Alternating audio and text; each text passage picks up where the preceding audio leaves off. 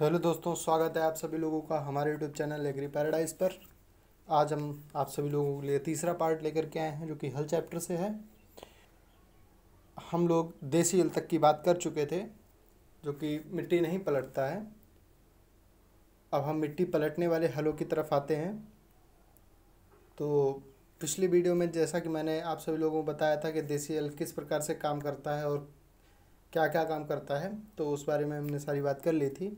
आज मिट्टी पलटने वाले हलों के बारे में देखते हुए चलेंगे तो आपके सामने आता होगा। मिट्टी है, पलटने वाले हलों के काम क्या होते हैं, कार्य क्या होते हैं, इन बारों में हम थोड़ा सा देख लेते हैं। मिट्टी पलटने वाले हलों का पहला कार्य तो ज़मीन को तोड़ने का ही होता है। वो, उनका जो आगे का सिरा होती है, नोक होती है, शेयर होता है उसका, फार जिसे बोलते हैं। फार के जो तीन भाग होते हैं, वो पहले नंबर मिट्टी के अंदर जाते हैं। और उसमें भी सबसे पहला जो भाग होता है, नोक पॉइंट जिसे बोलते हैं, वो सबसे पहले मिट्टी के अंदर जाता है, फिर उसके बाद में मिट्टी को पलटने का काम करता है। तो पहला काम तो हो गया नई ज़मीन को तोड़ने, मिट्टी को पलटना एवं हरी खाद वाली फ़सलों को मिट्टी में पलटना। खरपतवारों को नष्ट करने के लिए मिट्टी पलट हलों का प्रयोग किया जाता है। अब खरपतवारों को नष्ट करने के लिए किस प्रकार से किया जाता है? जैसे कि हमारे जो गन्ने की फ़सल होती है, उसके बीच में काफ़ी गैप होता है। तो उनके बीच में अगर कोई वीड आ जाता है, खरपतवार आ जाता है तो वो उसके बीच में उसको चला दिया जाता है, जिससे कि हमारे गन्ने में दो फ़ायदे हो जाते हैं। एक तो खरपतवार नष्ट हो जाते हैं, दूसरा ये भी फ़ायदा हो जाता है कि जो गन्ने की जो जड़ होती है, वहाँ पर मिट्टी भी पलट पलट करके मिट्टी उसकी जड़ पर पहुँचती है। तो दो दो फ़ायदे हो जाते हैं। गन्ने की खेती में अगर हम मिट्टी पलट से जुताई करते हैं, या तो अगर हम धान अथवा किसी की बात करते हैं तो अगर हम मिट्टी पलट हल से पहले जुताई करते हैं वहाँ पर तो मिट्टी पलट हल से ये फ़ायदा हो जाता है कि जो नीचे की मिट्टी होती है, वो ऊपर आ जाती है, जिससे कि उसमें जल धारण क्षमता अधिक हो जाती है और पानी ग्रहण करने की क्षमता भी बहुत ज़्यादा अधिक हो जाती है। गर्मी की जुताई के लिए यह बहुत उपयुक्त यंत्र है। गर्मी की जुताई के लिए ऐसे है कि गर्मी जब होती है तो इससे अगर जुताई की जाती है तो ज़मीन खुल जाती है। मतलब कि जो नीचे की मिट्टी होती है वो ऊपर आ जाती है, जिस प्रकार से मैंने धान के लिए बताया अभी, उसी प्रकार से यहाँ भी काम होता है। अब हम देख लेते हैं, मिट्टी पलटने वाले हलों के भागों के बारे में देखते हैं। पहले तो इसे दो भागों में विभक्त किया गया है, दो भागों में बांटा गया है। पहला हलतल जिसके बारे में मैंने पिछले वीडियो में बोला था कि आगे बात करेंगे तो इसी वीडियो में उसके बारे में सारी बात करेंगे। और दूसरा सहायक भाग।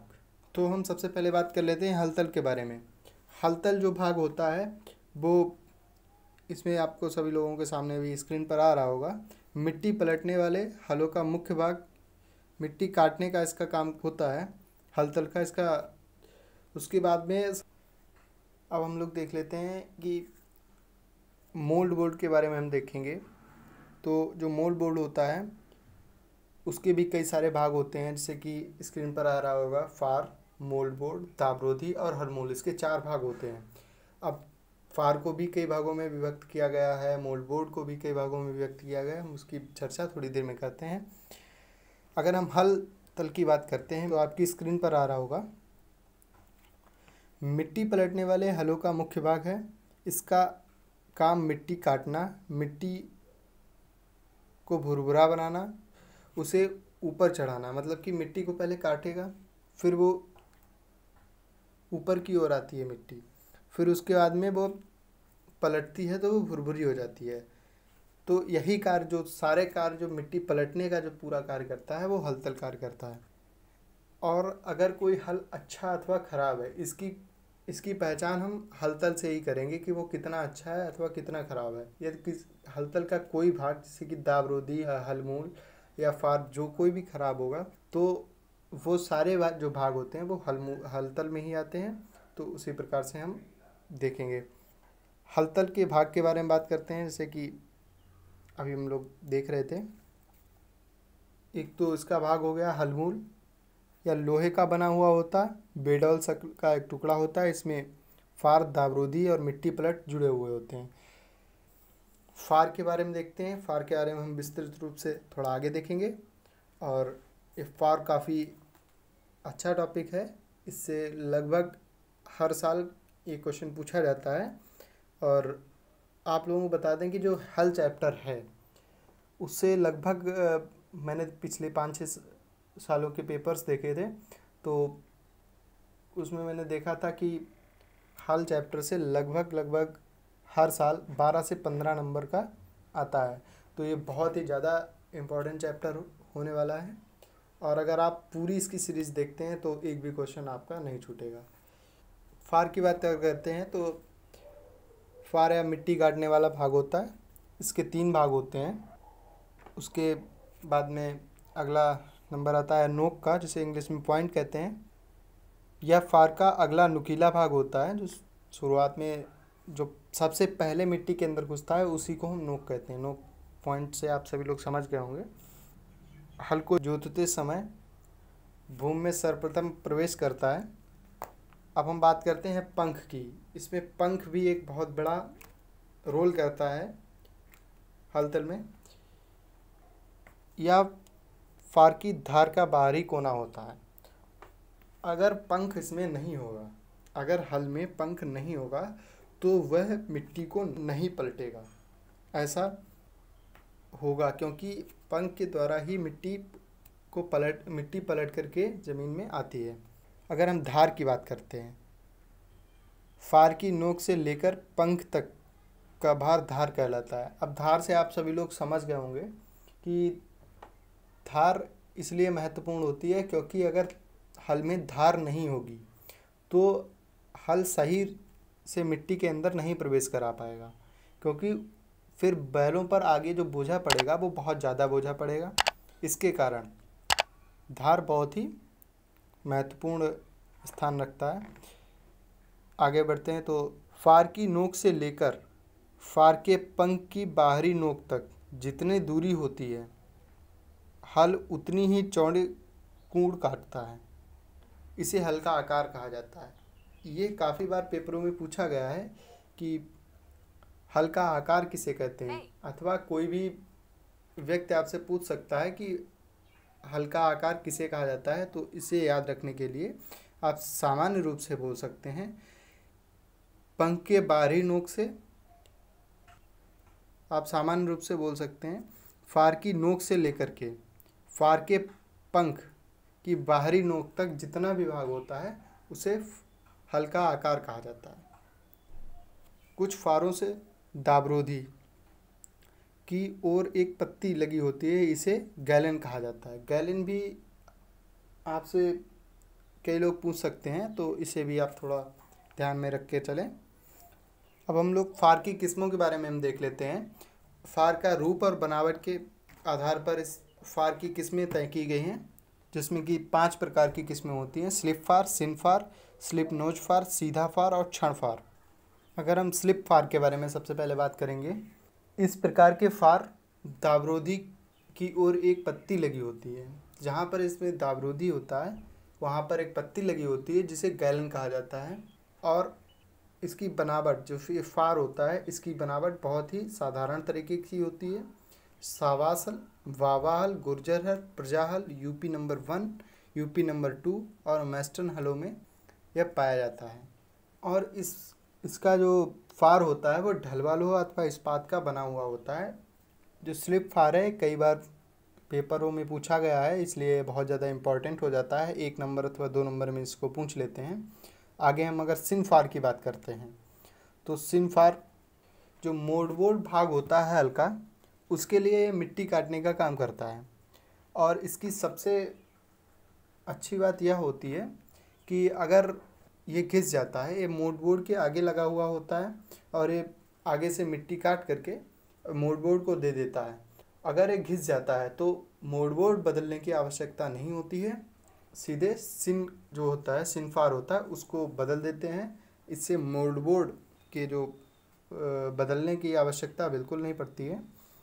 स्लिप फार के बारे में अगर हम देखते हैं, अगर हम स्लिप नोज़ फार के बारे में तीसरा पॉइंट जो कि दिया हुआ है स्लिप नोज़ फार उसके बारे में देखते हैं तो ये भी बिल्कुल सिन फार की जैसा ही होता है। और इसमें बस इतना सा, इतना डिफरेंस होता है स्लिप और स्लिप नोज़ फार में। कि इसका जो आगे का भाग होता है, इसकी जो नोक होती है, इसको बोला गया ना, स्लिप नोज़ फार तो इसकी जो आगे की नोक होती है, अगर वो घिस जाती है तो केवल उसको निकाल करके अलग कर दिया जाता है, और जो नोक होती है, उसी को स्लिप नोज़ फार कहा जाता है। ये अधिकतर पंजाब हलों में ऐसा फार होता है, ये भी परीक्षा की दृष्टि से काफ़ी महत्वपूर्ण होता है। और इसके बाद में चौथे नंबर पर आता है सीधा फार। इसमें कोई गैलन नहीं होती है और यह इस्पात का बना हुआ होता है। अब पाँचवें नंबर पर जो आता है, क्षण फार के बारे में हम लोग देखते हैं।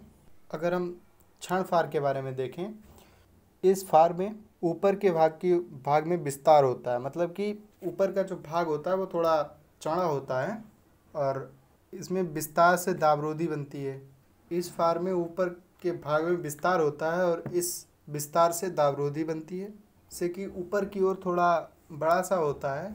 नोक से घिस जाने पर ऊष्मा उपचार के द्वारा इसकी मरम्मत की जाती है। इस प्रकार के जो फार होता है, उसको पत्थर तोड़ हलों में प्रयोग किया जाता है। अगर ऐसा होता है कि वो घिस जाए अथवा उसमें किसी प्रकार की कोई कमी आ जाती है तो उसको ऊष्मा प्रचार मतलब कि उसको आग में डाल करके फिर उसको सही किया जाता है। अब हम देखते हैं कि फार के लिए उपयुक्त धातु कौन सी है? तो ढलवा लोहा बहुत ही ज़्यादा इसकी आवश्यकता होती है। द्रुत शीतित ढलवा लोहा इस्पात तथा मृद केंद्र इस्पात के बनाए जाते हैं। फार के लिए यही चार धातुएँ होती हैं और इसका हम लोहे के बारे में या इस्पात के बारे में, इन सब के बारे में हम चैप्टर नंबर वन को भी मैंने नहीं डिस्क्राइब किया है। तो जब हम उसको बताएँगे तो हम इसको पूरी तरीके से लेकर के चलेंगे। तो इसको हम उस वाले चैप्टर में हम पूरा पढ़ेंगे कि ढलवा लोहा कैसा होता है, सादा इस्पात कैसा होता है, या जो भी जिस प्रकार के इस्पात और लोहे की बात की जाएगी, हम चैप्टर नंबर वन में बात करेंगे। और इस चैप यह चैप्टर बहुत ही ज़्यादा इंपॉर्टेंट होने वाला है आप सभी लोगों के लिए। यह चैप्टर ज़्यादा से ज़्यादा अगर आप सभी लोग देखेंगे तो नाइन्टी मिनट्स का होगा। अगर आप नाइन्टी मिनट्स उसको देखते हैं तो आप समझ लीजिए कि इसका बारह से पंद्रह नंबर आपके कहीं से छूटने वाले नहीं हैं। तो इस प्रकार से ये काफ़ी इंपॉर्टेंट चैप्टर होता जाता है। और आगे हम दाबरोधी लैंडस्लाइड की बात करते हैं कोर्स के अंदर। यह हलतल का वह भाग होता है, जैसे कि हलतल के चार भाग मैंने बताए थे, फार, मोलबोर्ड और दाबरोधी, हलमोल। तो अभी हम दल, दाबरोधी के बारे में बात कर रहे हैं। यह हलतल का वह भाग होता है जो बिना जुती भूम से रगड़ कर चल जाता है, रगड़ता हुआ चलता है दाबरोधी कहलाता है। दाबरोधी की तीन श्रेणियों में बांटा गया है, पतली दाबरोधी मध्यम दाबरोधी और ऊँची दाबरोधी जो पतली दाबरोधी होती है, वह 10 से 15 सेंटीमीटर तक इसकी ऊंचाई होती है और इसको बैलों से जो हल चलते हैं, उनमें प्रयोग किया जाता है। और मध्यम अथवा औसत दाबरोधी की अगर हम बात करें तो इसकी ऊंचाई 15 से 20 सेंटीमीटर होती है या बैलों अथवा ट्रैक्टर से चलाए जाने वाले हलों में प्रयोग की जाती है। और ऊँची दाबरोदी के बारे में अगर हम देखते हैं तो ये 20 सेंटीमीटर से अधिक होती है। इस दाबरोदी या भूम पार्श्व की ऊंचाई 20 सेंटीमीटर से अधिक होती है। मतलब कि इसकी ऊंचाई 20 सेंटीमीटर होती है। इसका प्रयोग केवल ट्रैक्टर द्वारा चलाए जाने वाले हलों में किया जाता है। अब अगर हम जैसे कि पतली दाबरोदी जो होती है, उसको केवल बैलों से चलाया जा सकता है। जो औसत अथवा मध्यम दाबरोदी होती है, उसको केवल बैलों अथवा ट्रैक्टर दोनों से चलाया जा सकता है और ऊँची दाबरोदी जो होती है, उसको केवल ट्रैक्टर से चलाया जा सकता है। पतली दाबरोदी की अगर हम ऊंचाइयों के बारे में बात करें इन सभी दाबरोदियों की तो पतली दाबरोदी जो होती है, वो 10 से 15 सेंटीमीटर ऊंचाई ऊंचाई की होती है। मध्यम दाबरोदी 15 से 20 सेंटीमीटर ऊंचाई की होती है। और ऊँची दाबरोदी जो कि केवल ट्रैक्टर में यूज़ की जाती है, वो 20 सेंटीमीटर से अधिक ऊंचाई की होती है। पंखा अथवा मिट्टी पलट की अगर हम बात करते हैं तो मोल्ड बोर्ड की बात करते हैं, जो कि जिसमें मैंने बताया था कि जो शिन फार होता है, वो मोल्ड बोर्ड को मिट्टी काट करके देता है, मोल्ड बोर्ड। अब हम देख लेते हैं मोल्ड बोर्ड क्या भाग होता है। हलतल में फार के ऊपर स्थित भाग मिट्टी पलट कहलाता है। साधारणतः हमने देख लिया है कि मिट्टी पलट क्या होता? है हल तल में फार के ऊपर स्थित जो भाग होता है। शुरुआत में सबसे पहले क्या लगता है? फार। फिर उसके बाद में जो मिट्टी ऊपर की ओर आती है तो आप समझ लीजिए कि फार को, फार वाले भाग को छोड़ करके जहाँ मिट्टी आ रही है, उसके बाद में तो उसको क्या कहेंगे? मोल्ड बोर्ड अथवा पंखा कहेंगे।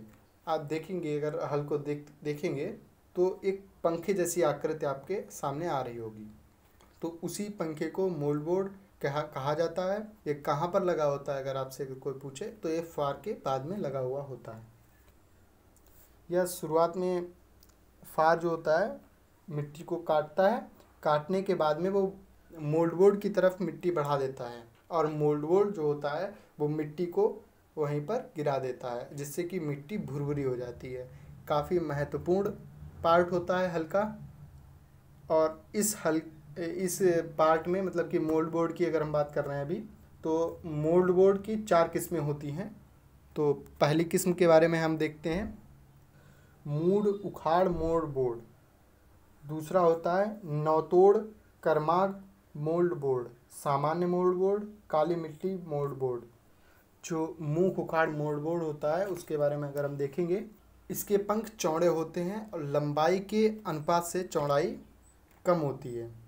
मतलब कि इसमें लंबाई ज़्यादा होती है, इसके उसके मोल्ड बोर्ड में, इसके पंख में जो लंबाई है वो ज़्यादा होती है और चौड़ाई कम होती है। इसके ऊपरी वाले किनारे नीचे की ओर झुके रहते हैं, जिसके कारण मिट्टी ऊपर पार से चढ़ती हुई और नीचे गिर जाती है और मिट्टी भुरभुरी हो जाती है। इसको उन्हीं खेतों में प्रयोग किया जाता है जो पहले से बोए जाते हैं, क्योंकि उनमें बहुत कठोर और नई तोड़ मिट्टी का प्रयोग करने से इनका अधिक खिंचाव पड़ता है। मतलब कि इन, इनके फार ज़्यादा झुके होने के कारण बैलों पर अधिक खिंचाव पड़ता है। तो अब हम अगले, उसकी तरफ़ नौतोड़ करमार्ग मोड बोर्ड की ओर देखेंगे।